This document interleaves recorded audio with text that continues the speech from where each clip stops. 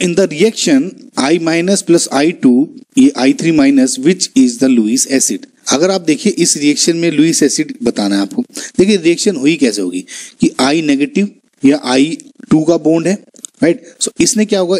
कुछ इस तरह से बॉन्ड बनाया है राइट गाइस डोनेट किया होगा कुछ इस टाइप से। सो so, कुछ इस टाइप से देखिए बॉन्ड कुछ बन रहा होगा। मैं अगर रफ देखूँ तो। सिर्फ़ मुझे अगर स्ट्रक्चर ऐसे स्ट्रक्चर देखना चाह रहा हूँ मैं तो कुछ इस टाइप से स्ट्रक्चर बन रहा होगा इसका। तो अब क्या हुआ? बेसिकली ये तो इलेक्ट्रॉन डोनेट किया इसने, इसको।